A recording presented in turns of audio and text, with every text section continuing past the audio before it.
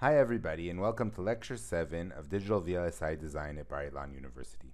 I'm Dr. Adam Teman and today I'll start discussing placement. So let's start with a short introduction to today's subject. Let's remember where we are in the complete design flow. So we started our um, course talking about the entire flow of making a chip. It started with some definition and planning stages that we didn't go much into in this course, and we discussed a little bit about RTL design, um, discussing how to write Verilog for synthesis and how to write test benches, and verification, we just did some direct test benches. Our course really started at logic synthesis when we synthesized our design into a technology mapped gate level netlist. Then we went over down to physical design stage, which uh, we've been dealing with for the last two lectures. We started with importing the design into the place and route tool, um, defining our multi-mode, multi-corner, and so forth, and then drawing up a floor plan. Today, um, we're going to go into placement, um, where we have a design with a floor plan that has pre-placed blocks, some power routing, and so forth. So what we're going to do today is we're going to take all our net list, which is full of all these standard cells, and actually decide where each and every single cell sits in these standard cell or core rows. Uh, just a question, a short question to ask before we um, start discussing how to actually do placement. When people say chip size, what are they exactly talking about? So when somebody says, uh, I'm building a 100 million gate ASIC, how big is it actually? Well, when we look at a real design, we can see that small cells dominate, and um, Rob Rutenbar uh, made this plot several years ago. Took a 206,000 gate IBM ASIC, and he looked at a histogram of what the cell sizes are, and you see that the width of the cells, there are very few very tiny cells, but there are a ton of small cells. In fact, most of the cells are um, small. There are very few big cells. Probably the cells over here are some macros, some IPs that are really, really big, but they're whatever flip-flops and so forth may be on the right side here, but most of the cells really are small. So small cells dominate. Um, therefore, when we discuss what a 100 million gate ASIC is, we usually discuss them as equivalent small gates.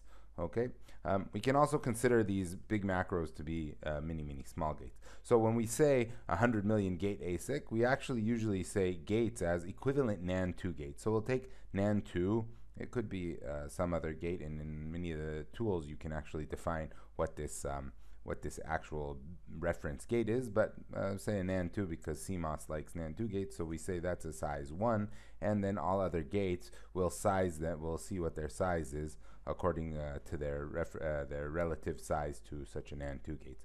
Um, when we discuss the number of instances, we're talking about the number of things placed, and that's much smaller than the number of gates because there are gates that are um, big, and so uh, there are very few instant. Uh, there's only a couple of instances for uh, number of NAND 2 gates, and same thing with uh, macros. So if we take a, an SRAM macro, it may be several thousand or even more than that um, NAND 2 gates. So just as a rule of thumb, um, depends on your design of course, but you can say that the number of instances is about the number of gates divided by 4 or 5.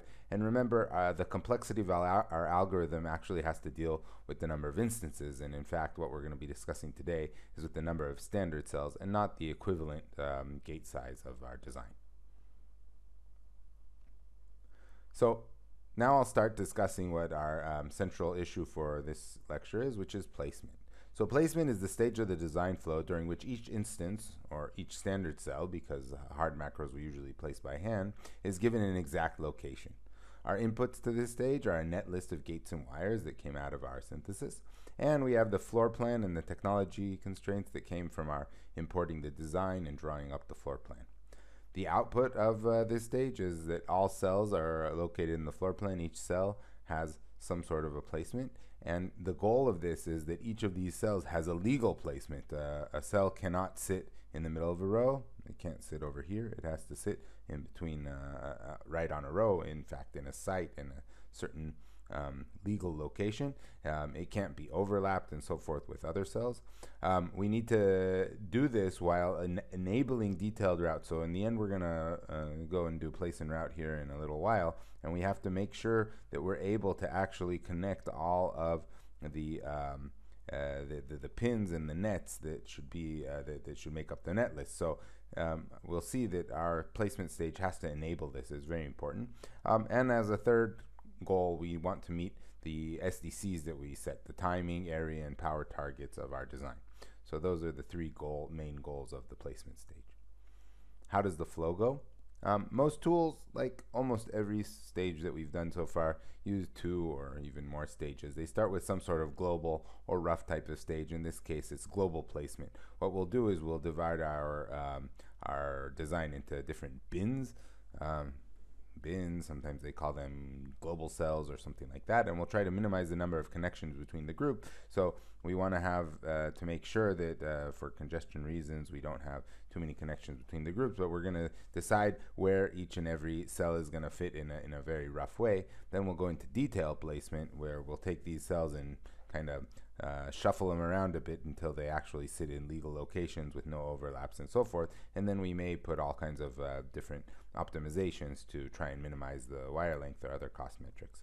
So uh, when we finish our design, we want to have uh, an uncongested design, so we'll be able to route it. And here we're taking a very old channel routing based type of a picture, but this is just a picture I found somewhere.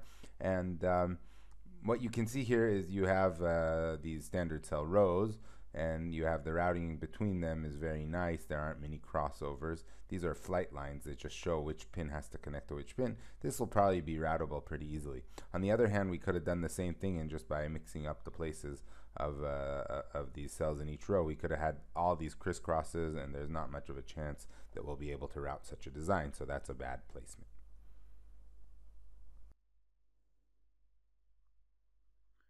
So to start, we'll look at a random placement algorithm. And again, I want to thank Rob Rutenbar, whose course really taught me all this stuff, and it, it has a much better, um, much more detailed overview of all of this. So let's look at the problem formulation.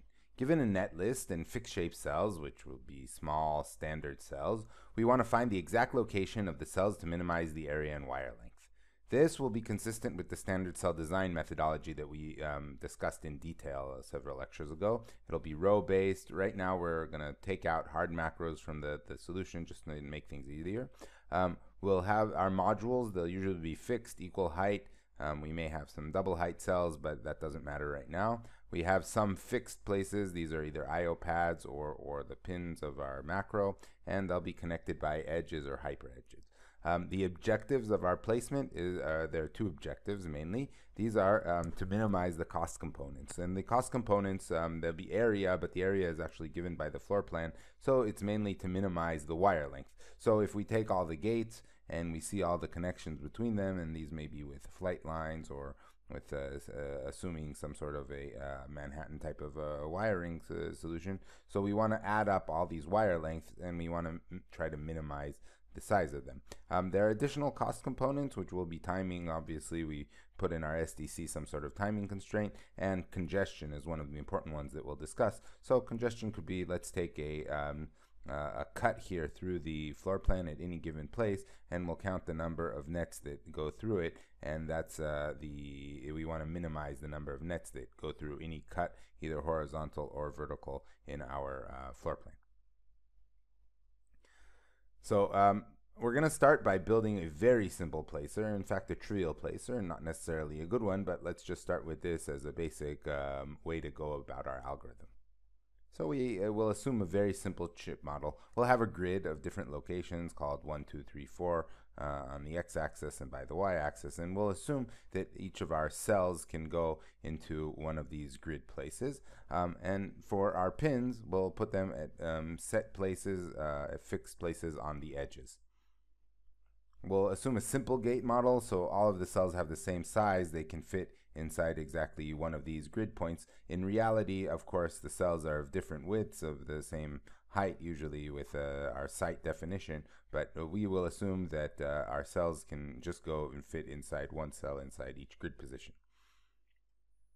Um, we need a cost metric, and our basic cost metric, again, looking at our previous slide, is that we want to minimize the wire length.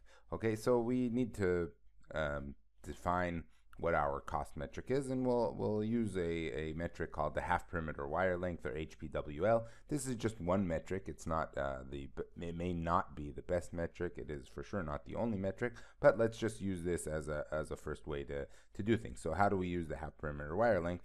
We look at our cells and we put a bounding box that um, contains every single cell that's on that net and we look at the half perimeter of this bounding box. So the half perimeter is basically taking the difference in the x-axis plus the difference in the y-axis, or it's as exactly as taking the perimeter and dividing it by 2. That's why it's half perimeter wire length. So in this case, um, this cell is set at 3, 1. So uh, the x, the delta x is 3 minus 1 equals 2. And the uh, this one is placed at 1, 4. So 4 minus 1 is 3. And we get a half perimeter wire length of 2 plus 3, which equals 5.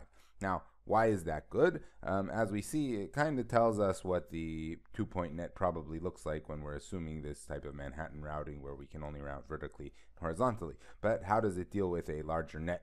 So let's say we have a four point net. So this gate has a fan out of three and it's driving this cell, this cell, and this cell. Well, why is this half perimeter wire length a kind of a good estimator? Um, because we don't have to separately route each one of these nets and count all the half perimeters of each one of these nets. Um, in fact, because this is uh, this is um, uh, connections that are shorted together, we can usually just branch off by touching any part of our net and going to the next uh, cell. So using the half perimeter wire length, we, we bound all of these cells and it gives a much more um, realistic kind of a estimation of how much each additional net adds to the wire length because this cell doesn't add much to our general wire length. So in this case, we get four, uh, we get uh, on the y-axis 5 minus, um, minus, uh, 1 and on the x-axis we get 4 minus 1 and uh, altogether half perimeter wire length of 7. So now that we have our cost metric and our definition of our model, we can uh, define a simple algorithm. So what we're going to do is we're going to do something really, well, not very naive. We're going to just randomly place each uh, gate. So we're going to start here, and this is kind of a pseudocode for our, our design. For each gate, which is called GI in our net list. Let's place GI in some random XY um, location that is not preoccupied by a, a, previous iteration of our of our for each loop. Okay, and then what we're going to do is we're going to calculate the half perimeter wire length. We're going to start at zero and then go over every single net in the net list and add to our total wire length. We're going to add the half perimeter wire length of that net. So then we're going to apply what's called random iterative improvement. You can also call it hill climbing. Okay, we're going to pick a random uh, pair of gates. So um, we're going to just pick two gates, GI and GJ, just any random pair. We're going to swap between them. We're going to change their locations. We're going to re uh, and then we're going to recalculate our um, our uh, our wire length. So if the difference in our wire length, the new half perimeter wire length minus the old uh, perimeter wire length, if it got smaller, then we're going to accept the swap. If not, we're going to undo the swap and go to the next iteration of our random uh, selection. And we're going to repeat this um, while the total half perimeter wire length is improving. Once it stops improving, it's saturated, we're going to stop. That's a very simple placer. And was it any good? Well, we can see um, this type of a graph that uh, Rob Rutenbar provided that you have uh, the total wire length and if you start over here and you start doing all these millions of swaps and you see that the numbers are millions we go down pretty quickly. We, we get pretty quickly we get a, an improvement but at some point it saturates and it saturates at a pretty high level. We didn't get too low in this. So um, uh, it is good, but it's not really good. And the reason is that we get stuck in a local minima. So what we're doing again, we're doing what's called hill climbing or hill descending. We're starting at some sort of a place in a um, n in an n-dimensional uh, um, area here and we start going we always go down we always go down towards whatever minimum we're uh, around and we finally get stuck in some sort of a valley um, and that's a local minimum in this three-dimensional uh, space that we can see so that is a problem uh, we want to get over to some sort of a maximum local uh, maximum minimum um, uh, of the whole design and optimal point we're probably not going to be able to do that on such a wide dimensional space but what we can do to try and do that is we can uh, think about jumping over some hills. Why don't we go up? Uh, why don't we go uphill and go to a worse solution sometimes? Maybe that'll provide us with the ability to get down here. So that brings us to the idea of simulated annealing. Simulated annealing is an attempt by us to copy some physical traits and put it into a type of a algorithm that may help us improve. So um, annealing is something we discussed when we discussed semiconductors and, uh, and different process steps. And uh, we just have to remember that the lowest energy state of a crystal lattice is when all atoms are lined up. So if we have a messy crystal, kind of like this with all these atoms um, scattered around and not in a nice pretty crystal, what we can do is we can heat up the crystal. That gives each of these atoms a lot of uh, energy. And then they can move around and try to find a better state where the crystal has lower energy. But while we cool um, this thing, the uh, atoms lose energy and then they can only move very close to each other. So they can um, improve their state a little bit by moving to, to close around places, but they can't go very far. Um, this is the idea that we take to, uh, to our simulated annealing algorithm, to our uh, random iterative uh, placement or random hill climbing. And what we do is we take the probability of a move that uh, comes from physics, where the probability is e to the power of, uh, of minus the change in energy divided by kt. And um, the, the higher the energy is, the um, higher the probability is that we will take a move. The lower the energy is, the colder the, the temperature is, the lower um, the probability we take a move is. So we make fewer big jumps. Um, this is the idea of simulated annealing. Let's see, uh, let's see it in uh, the algorithm that does it, and then let's see how it works. Okay, so we'll start with the same basic algorithm. We do a random initial placement, we swap two random gates, we evaluate the change in half perimeter wire length, and if the wire length improves, we accept the change. So this is what we're doing over here in this part of the algorithm. But the question is what happens if the wire length increases? So if delta L is smaller than zero, then we keep the swap but if not, what do we do? We evaluate the annealing probability function. So instead of delta E, the change in energy before, we look at the delta L, the change in wire length. And we have this parameter T, which is the um, simulated temperature. It's not real temperature, but it's some sort of simulated temperature. So we take this P as e to the power of minus delta L over T. And then we choose a random a uniform random number R that's between 0 and 1. And we evaluate. If R is smaller than P, if um, the random number is smaller than this p-value, then we keep the swap.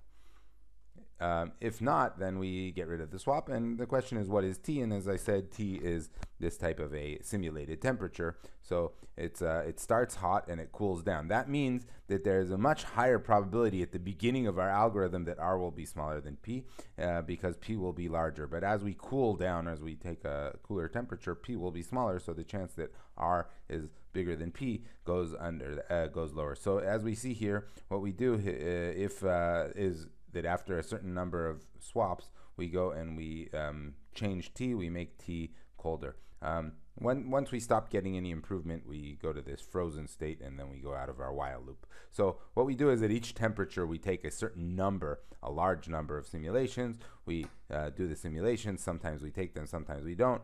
Then we um, uh, decrease our temperature. Um, we do again another number of simulations and so forth and so on. So let's see. Does this work? Hmm.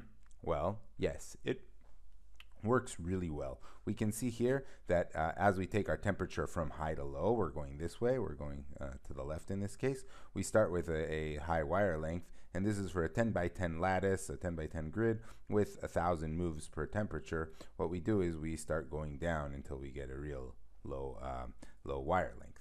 Um, we can see that it works at a much bigger lattice too. So we have 100 by 100 lattice, and here we have 250,000 moves per temperature, and we get something here that's very interesting. It's called an S curve. You see this S? We always get this S. At first, it takes a long time to start really improving, and the reason for that is that uh, we, with a high temperature, we take a lot of these big moves. But then quickly we start improving with a um, with a regular hill climbing. Uh, we start going downhill towards a local minimum, and then finally we get stuck kind of in our local minimum because uh, we can't take very big jumps. The probability of taking a jump is, is really low. So many EDA algorithms use simulated annealing. The question is, does it find an optimal solution? And the, the answer is, of course, no. It does not find an optimal solution. This is a complete heuristic based on a random uh, type of a process, but it is really good at avoiding local minima and getting out of them. So what happens if I run it again? Of course, I'll get a different answer each time because it's random um, when we actually take a, uh, move or we get rid of it, and it's random where we start and what kind of area in our design space we get stuck at. But I just want to mention this is not how placers work today, and that we'll do in a moment after we go into today's Chip Hall of Fame. So, the chip we're going to be discussing today is um, Deep Blue. Uh, this is a um, uh, something that's really relevant for today because artificial intelligence is becoming a larger part of our lives.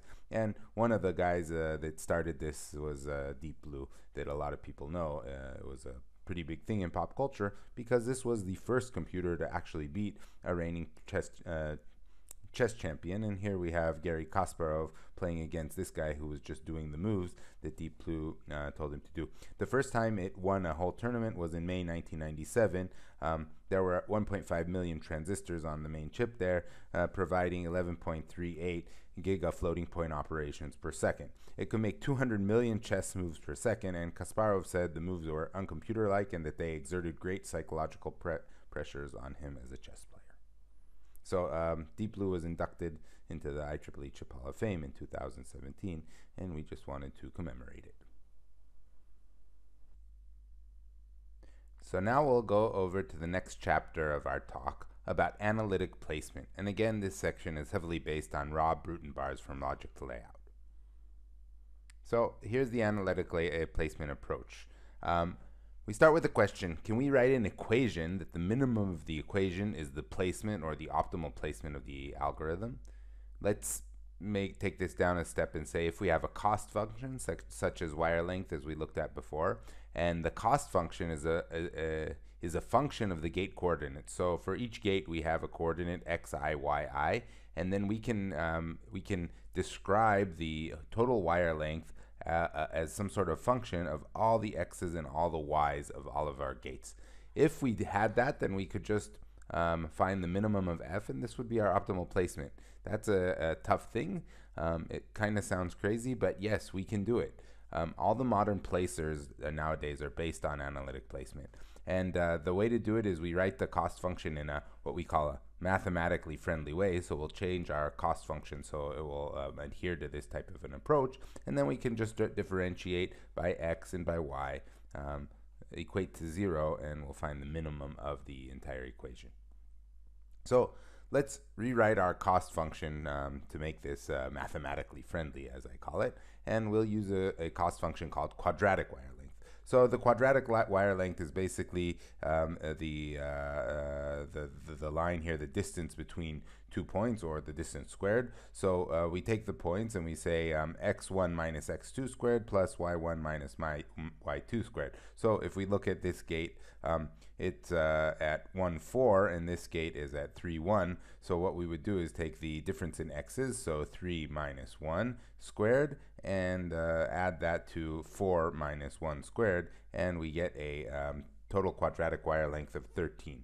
Okay, so this just is a kind of a, a, a, definition of the, again, the, the distance between two points squared, but this is a two point net, and that's a simple representation, and that sounds like an okay thing to describe the wire length, but what happens when we have more than two points in it. So if we have a k point net, with k being larger than 2, for example, this gate here that has a fan out of 3, uh, giving us a total of 4 um, nets. And beforehand with the half perimeter wire length, we just put a bounding box around it and it kind of showed this ability to connect the different nets. But we can't really do that in this case. I mean, what, what distance do we take? In this type of a thing. So what we'll do in this approach is we'll make um, what we call a fully connected clique model. So a fully connected clique model means that we'll break up this net that has uh, the mini the, the, the, high fan out into mini nets with uh, point-to-point nets. So each of these gates now connects to each of the other gates in uh, in the fully connected clique model, and that gives us quite a few nets. Um, and uh, but each of these nets,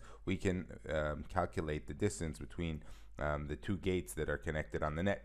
Okay, the problem is that we get a, a, total of k times k minus 1 divided by 2 nets. That, that makes a much uh, larger, that makes a very large effect for having a high fan out on our net. And it's probably not a true effect. So what we'll want to do is we're going to weight this, weight each net, make each weight be worth um, less than it was before. And we'll take as our weighting factor this um, just a, a, 1 divided by k minus 1. So um, for example, in our in our example here, our k is 4 because there are 4 nets. So 1 divided by k minus 1 is a third, right? So what we're going to do is we're going to take each one of these things, like for example, here we have um, 4 minus 1 plus, uh, plus 5 minus 4. Um, each of those squared, we're going to uh, multiply that by a third. So a third times 4 minus 1 plus 5 minus 4 squared. And we're going to do that for each and every single one of these nets. And we'll get a total sum of the six weighted two point lengths. Okay, so the this weighting factor, it reduces the effect of each additional um, uh, fan out or each additional um, net in the clique model on the total wire length. Um, there's one last point here that each of these gates are dimensionless. This will be important for us uh, uh, later on. And I want to mention something else. Uh, we're going to show you how analytic placement gives us an optimal solution. But um, remember that there is uh, almost no such thing as optimal in the world of algorithms. And here too, we have different things that are heuristic or that come in and, and remove the optimality. So one of them is this um, cost function. Is the quadratic wire length cost, fu uh, cost function the real thing we want to optimize? And that's a good question. It, it's good enough. I mean, that's what's been shown in research over the years, but it, it probably is not the most optimal thing for every type of system or every type of uh, chip we want to make. Um, another thing is this weighting factor. Is the weighting factor of 1 divided by k minus 1 the right weighting factor? And that's a good question. Um, uh, there is no good, there is no true answer for it, but it has worked well enough in research. So now let's give you an example of how we do this calculation, just a, a, numerical example to see how it's done. So we have in our model, we have our fixed pads. So there's one pad at 0, 0 and one pad at 1, 0.5. And we have um, two gates uh, that are somewhere. Um, this one is x1, y1, okay, and this one is uh, x2, y2. That's the location. The location is a parameter, and we're going to find what our optimal location is for it. And um, we also uh, see that the, the each of the nets uh, uh, has some sort of a weighting. So like the weighting before was just a third on all of them, but uh, we just wrote here for the example different weights. So this uh, net between the pad and uh, and pin number one and uh, gate number one has a weighting factor of one, but the net connecting gate number one and two has a weighting factor of two. So how are we going to um, uh, calculate the coordinates, these xi, yi coordinates? Um, what we're going to do is we're going to use our quadratic wire length and we're going to see here. Okay, so if we take uh, the net between these two guys, it's just x2 minus x1 times the weighting factor uh, squared times the weighting factor plus um, y2 minus y1 times uh, squared times the weighting factor. So that was uh, simple enough. Um, we can also do this. We must also do the same thing for the nets uh, that are connected to pads or pins and these pads they have a constant uh, placement. So uh, for the um, for the this one here what we're going to do is we're going to take x2 minus 1 squared times the weighting factor which is 4 and y2 minus y uh, minus 0.5 squared times 4 so that gives us this and the same same thing we'll do over here. We'll take um, x1 minus 0 squared times 1 and y1 minus 0 squared times 1 and we'll get to that as well. Okay. Um, so there's some important things that we want to pay attention to in in the quadratic wire length. So this plus this plus this is going to give us our um, quadratic uh, wire length, right? And uh, and what we can see here is a few things. If we take these guys over here, they have all the xi's in them. And if we take these guys over here, they have the yi's in them. But there are no um, expressions here that have both xy and yi. And that's really good because that enables us to separate this part of the equation and this part of uh, this part of the sum and this part of the sum and separately differentiate them to find the optimal. Okay, and that's why we are actually using this quadratic wire length type of expression.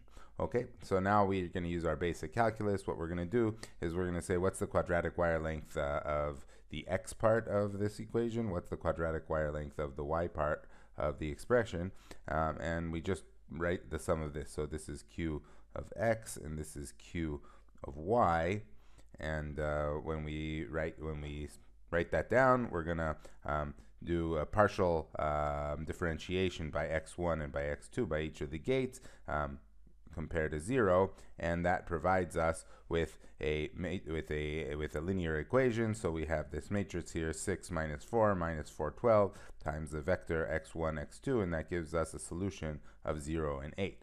the same exact thing we're going to do on the y, um, on the y part of the equation, and we can uh, easily solve these two linear linear sets, and we get um, a some numbers for x1 and x2 and y1 and y2. Okay, so just to look at this solution that we did, as we saw before, we found that the coordinates of our gates are x1, y1, and x2, y2. That was what we solved, and we can see a couple of things. So first of all, the placement that we got, it really makes visual sense. So when we just look at the model over here on the left, we can assume that everything will have to be on a straight line because uh, this guy's pulling over here and this guy's pulling over there. Why shouldn't they sit on some sort of straight line with some sort of division between it? And we see in the solution that in fact um, we do get a straight line here between. Another thing we see is that this guy is pulling strongly. It's a, a big weight while this guy is pulling weakly and this is a bit stronger. So we could assume that this will be the shortest type of a net while this net will be a bit longer and this will be the longest. And we actually do see that here. There's a very short net over here, a bit longer net over here, and a, and a real long net over here. This is very similar to what we call spring weights. So if we had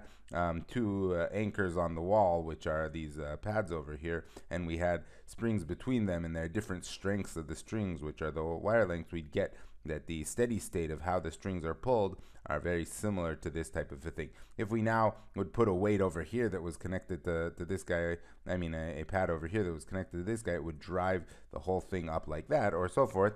And um, so this is the type of thing that we expected to think. This makes visual sense. Uh, larger weights provide us with a shorter wire. That's very important to do type of a sanity check of what we get. Uh, a second observation is looking at the algebra of it. And there's something real interesting we see. You see this and this? Well, they're exactly the same. Okay, so actually for, for n gates for that we want to place, we get two equivalent n by n matrices, which are these matrices, and we'll call this matrix A. Okay, um, and then we get a linear system that's AX, where x is the uh, the the um, vector of the x uh, coordinates here, and similar a y, we get uh, the y coordinates here, gives us some sort of an output vector of bx and by. Okay, so that's our linear matrix, and uh, we found that a is this, and b and x and by are that. And uh, just what are these b things? That's the only thing that we, we have to think about. And b um, these guys are driven by where our actual uh, pads are. So there, there, there's some there's some representation of the pad coordinates. Okay, so that was very cool because now we have a uh, real way of, um, of analytically optimizing the placement of a, some sort of a, a, set. So let's look at a recipes for success of how to do this. Um, something that uh, I'm going to add here, but we didn't observe before, is that A is actually a, a, some sort of a, uh, a, modification of what we call the connectivity matrix. The connectivity matrix, or C, because for connectivity, is um, some sort of a matrix that discusses or tells us about what the connectivity between the gates and the pads in our network are. So um, the recipe is like this: for C uh, uh at position ij is going to be equal to cji. So we have a symmetrical matrix. And the uh, value in these two places is going to be w for a net with weight w. Okay, so cij equals cji. Um, for net ij, um, going to be the weight between uh, the two um, gates i and j. Okay, um, on all other places, we're going to have zero. So both on the um, on the diagonal and on anywhere where there's no net, if we have gate one and gate two and there's no net between them, we're going to put a zero at, uh, at position one, two, and two, one in our matrix. We'll see that in a second with a with a numerical example. Okay, um, so that's this the connectivity matrix. It basically tells us what the weights are between every pair of gates. Um, so then we can just take our C matrix. What we're going to do is for each um, number we have in the matrix, we're going to put a negative in the A matrix. So negative Cij is going to be Aij. Then we're going to look at the diagonals. So Aii, the diagonal, is just the sum of the row i plus the weight of the net i to the pad if there exists such a net. Okay, so that's what it says over here. Um, if i is uh, not equal to j, if we're not on the diagonal, we're going to take minus Cij, minus the uh, connectivity matrix value. If we are on the diagonal, what we're going to do is we're going to sum up the values of the connectivity matrix and add to it the weight um, to a pad if there's a pad there. For B vectors, again, we said B is some sort of representation of a pad, and the way we're going to get them is that we're going to um, for uh, bx, for the x vector of b in the position i, what we're going to do is we're going to take the weight of the um, connection between uh, the uh, pad and and and and the and that gate and gate i times the the x position of the uh, of the pad. Okay, and for weight and for the the y vector, the y pad vector, what we're going to do is we're going to multiply again this weight times the y position. If there is no um, connection between them, obviously the uh, bxi and byi are both going to be zero. Okay, so that may have been kind of hard to, to, to, perceive in our uh, heads without seeing an example. So let's see an example of that using five gates. So we're given um, a five gate example. There are four pads scattered around uh, and they have some sort of a constant position. And then we have one, two, three, uh, wait a second, one, two, three, four, five gates. You see I numbered them one, two, three, four, and five. And then we have different weight weighting um, weighting uh, weights around here, these blue things.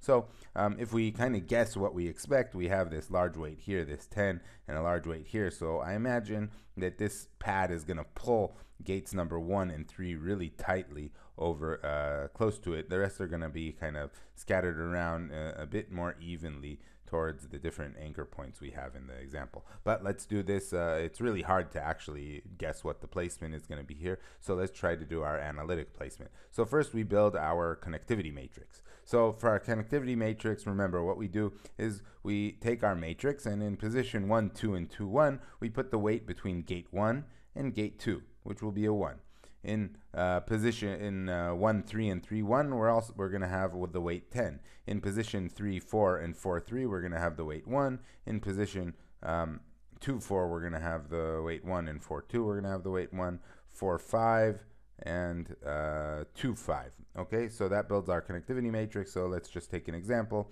We have uh, position 1 3 or 3 1 sorry and 1 3 um, they're 10 and we look between gates 1 and 3 they're 10 that's what we said. And the diagonal is going to be all zeros so that's our connectivity matrix. Now remember the way to take our uh, connectivity matrix and make up our A matrix is to take all of these numbers and just add a minus to them. So that's going to be everything off diagonal. And then we just have the question of how to figure out the diagonals of this connectivity matrix. And what we said is we're going to sum up the row. So the sum of this is 10 plus 1, that's 11.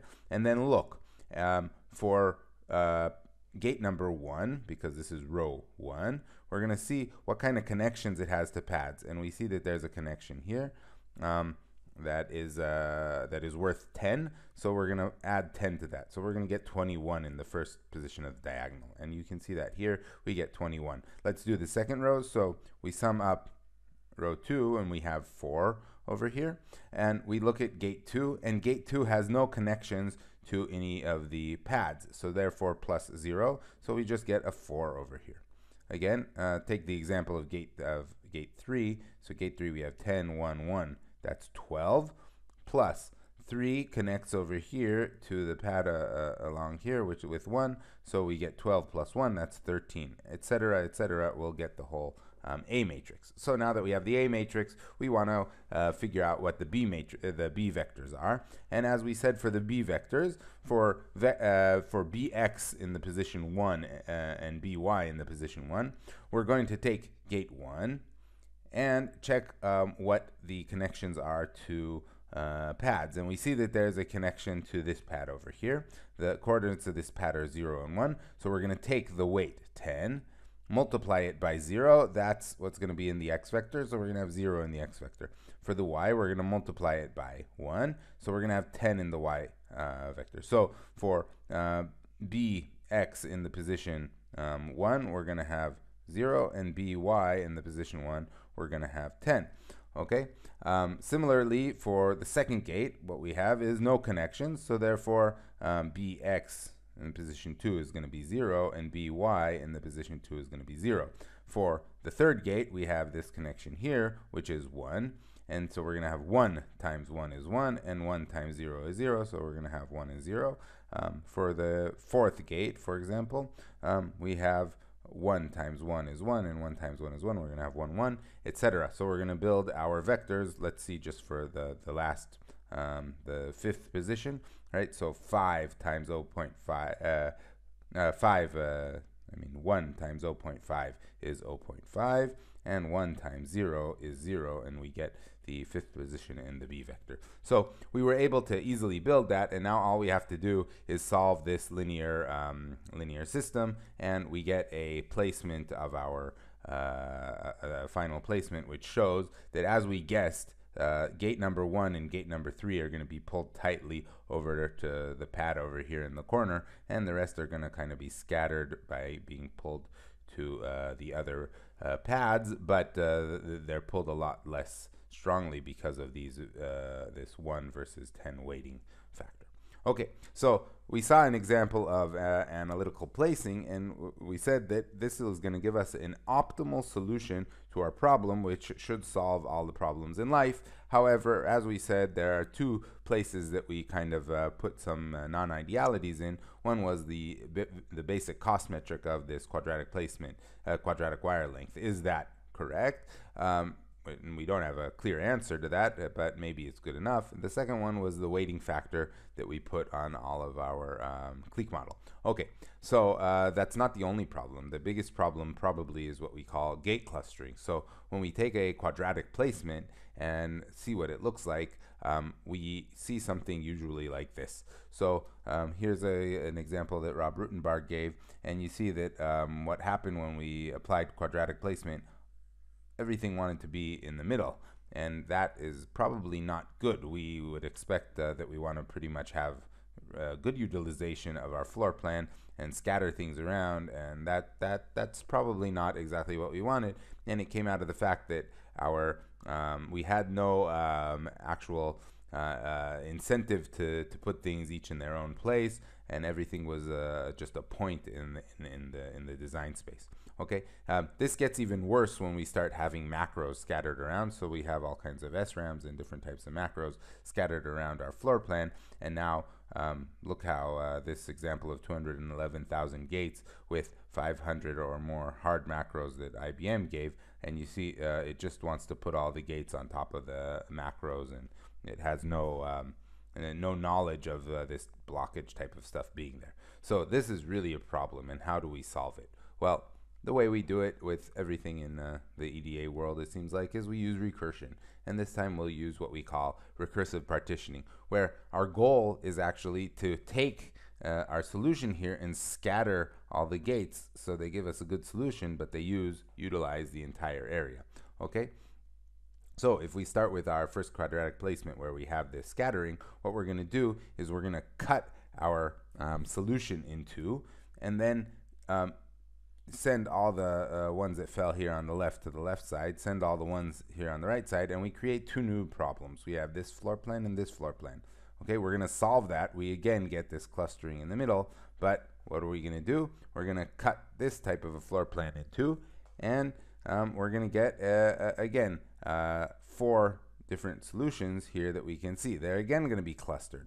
So what do we do? We keep on partitioning them, keep on getting smaller and smaller problems until we have small enough problems that we can do some sort of a um, solution on a, on a much smaller uh, basis. Okay, what this essentially did is it scattered all of our gates. So we see that the gates now are scattered all around our floor plan, utilizing it much better than in the situation over here where everything was stuck right in the middle on top of each other. So let's uh, uh, describe this recursive partitioning more formally. We're going to start with a stage called partitioning. We're going to divide our current solution into two. It can either be vertically or horizontally, depending on what our previous solution was. So we're going to divide it in half. After we divide it in half, we're going to assign gates into the into the new smaller regions. So how we're going to assign gates is we're going to take the um, the other axis. So we cut here vertically. We're going to take the horizontal axis and we're going to sort all the gates according to the axis. And we're going to say, okay, this guy's the first one, this guy's the second one, third one, fourth one, etc. Until we get to half. We're going to say that half of the gates we're going to assign to the left side. So we took and we sorted and we found that all of these gates, these were the um, most left placed gates. We're going to say, okay, you guys should be inside this left partition and you guys even though you may have fell in our solution actually on the left side, we're going to throw you over into the right partition. So you have to, um, we're going to assign you over here and then you will have to be inside this side. Okay, so that's what we're going to do. We're going to sort it and assign the gates to each of these partitions. Then we have to do what we call containment. We have to formulate a new quadratic placement uh, matrix that actually keeps the gates in the new region.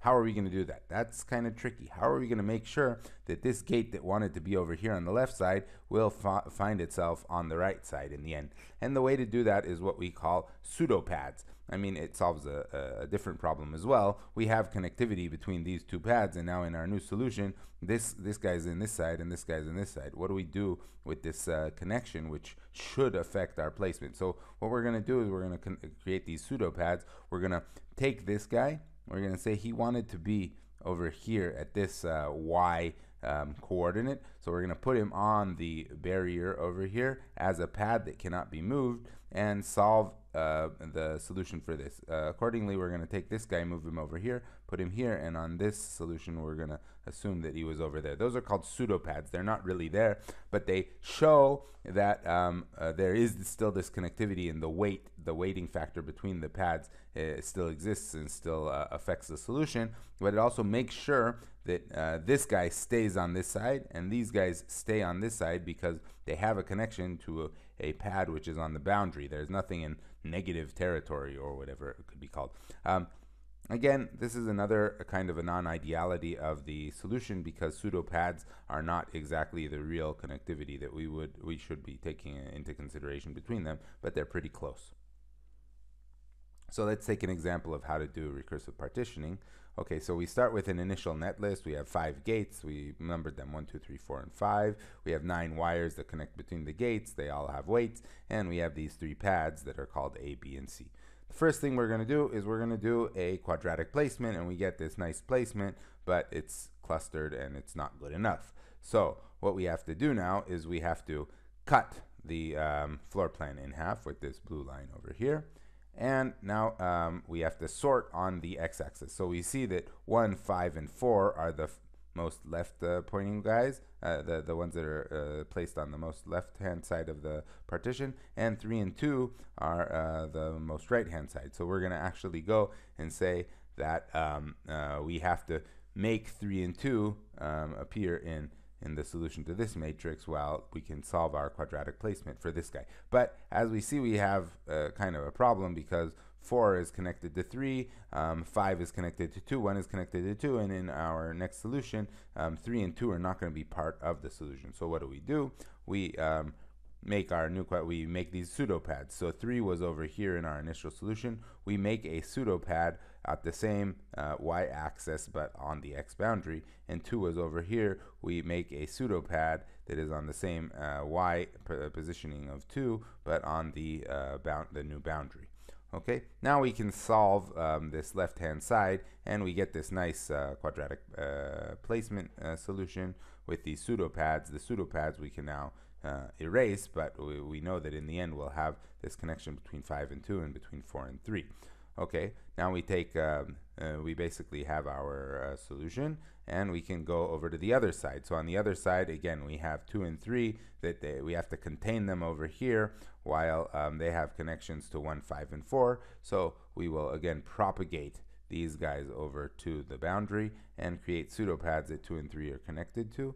Um, uh, and this is the input to the third quadratic placement and now we can solve it and we get the placement of 2 and 3 and we can uh, continue doing this until we have small enough areas that we've scattered the cells enough and we can make a local solution. So we keep on recursive partitioning until we have something like 10 to 100 gates. That's kind of a, a number that we can say that uh, we can deal with. And now we have um, these placements that are not legal because we have overlaps and again we have uh, things that are not sitting in the exact rows and so forth. So how do we solve it? We have to uh, we have to do um, some sort of a legalization step um, to uh, actually move our gates that are not points. They they actually have sizes according to our LEF files. We have to move them into rows so they're legal. How do we do legalization? We can do it with simulated annealing, for example. We can just use a real low temperature so the gates won't jump around too far, um, but finally they'll get to a, uh, a legal position. Or we can do other types of things. So that was how we do analytic placement, and that's how um, basically our placers work today. So having discussed uh, the placement algorithms, let's go over to see how placement is done in practice in the backend tools. So in addition to wire length minimization, placement can be driven by two additional primary targets. So over here, we see that uh, the area, wire length, and overlap are the traditional place, uh, methods of placement. But we can't forget timing optimization or timing driven placement, which is uh, something that we need to meet the SDC constraints, right?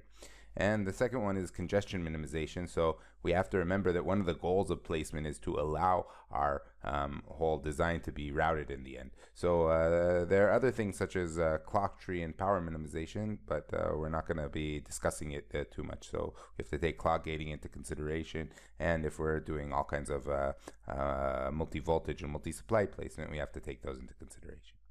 So just going for a tiny bit over the, the, the two additional targets we discussed, timing driven placement. So um, that tries to place critical path cells close together to reduce the net RCs and to meet setup timing. So what we do is we do these things called virtual routes, where we're actually going and connecting uh, routes between the, the different places, but without actually going up in vias and changing layers and taking the layers into consideration. We just try to place the cells along timing critical paths close together to reduce the net RCs and to meet setup timing. Um, the net RCs are based on virtual route estimates. This differentiates, for example, from uh, our previous uh, assumption where in synthesis we had these uh, type of wire load models that just took the net fan out and put in resistance and capacitance. So we already said that there is topographical synthesis or uh, physical aware synthesis, which does placement. And once we do placement, we can do this type of a trial route that just puts these um, single net, uh, single layer routings between the cells and can get a good assumption of what the RCs on the nets are. So that's a type of a thing that's done in placement. And again, nowadays it's already driven back into the synthesis tool in this physical aware or topographical synthesis. Um, the second uh, thing is congestion.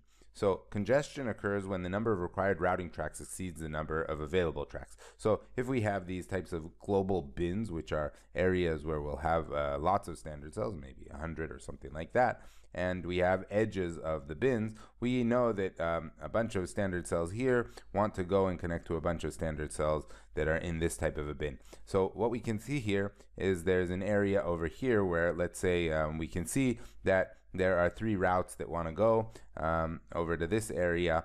Uh, so the routing demand is three, but the routing supply maybe is only one. And then we have this overflow of three minus one equals two. So there would be an overflow of two in this area, and that is a high congestion area. Um, so overflow on each edge is defined as the routing demand minus the routing supply. Of course, if that is uh, if uh, the routing if um, there is no overflow, then we get zero. So if um, the routing supply is larger than the routing demand, the overflow is zero. And the total overflow is the sum of the overflow over all edges. Um, usually the, the tool will show us, and we'll see in on the next slide, uh, some examples of this maybe, or the slide after that. Um, but it'll show us for each direction here. So routing on the, in the global, we have this global cell over here, um, routing in the horizontal direction, we have a demand of 39, but only a supply of 35. So there's overflow of 4. Or over here, we have an overflow of 1. Uh, or here 5. And here we have no overflow. Okay? So that's the type of a thing. And if we see these large overflow areas, that's really bad. So issues with congestion is that uh, are, are, like this. Let's say that there's a bit of, of, congestion over there, and we need to take a route and route it from this side to this side, um, what we can do is we can make a detour. So we can go around this area, not go through this high congestion area, and we'll be able to route our design and finish without any DRCs. The problem is that the RC delay of this type of a, a long route is much higher than a type of a route that just goes point to point, and that means um, that our, our RC estimates will be wrong, our virtual routing estimates will be wrong, and we'll um, get delay delays that are optimistic. Okay, um, the bigger problem is when we have these severely congested design, like as you can see here, this is probably a really bad routing hotspot. It's a high congestion area, and we won't be able to route this, and we'll need to fix it. Usually the tools have uh, some sort of thing as, such as a congestion map. This would be some sort of a color map. Sometimes it comes in type of an ASCII style or just a, a, um, a summary of how many areas of congestion over this and this amount are. But um, in, in the cadence tools, we get these types of little um, uh, di uh, diamonds that show us uh, V 158 over 150. That means there's a, an overflow of 8 in this area and uh, in the vertical direction, so going up and down. And if we have a lot of these red dots after um, trial route following placement, then uh, we should go back and try and fix it.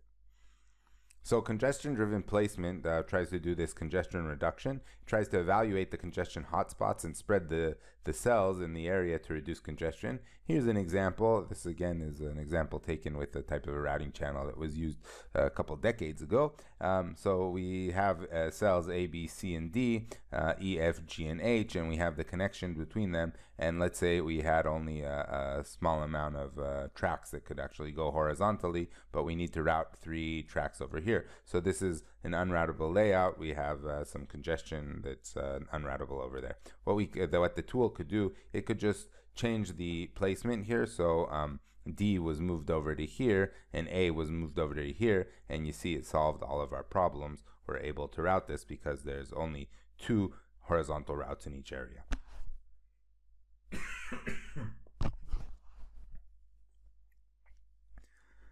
so what are our strategies to fix congestion?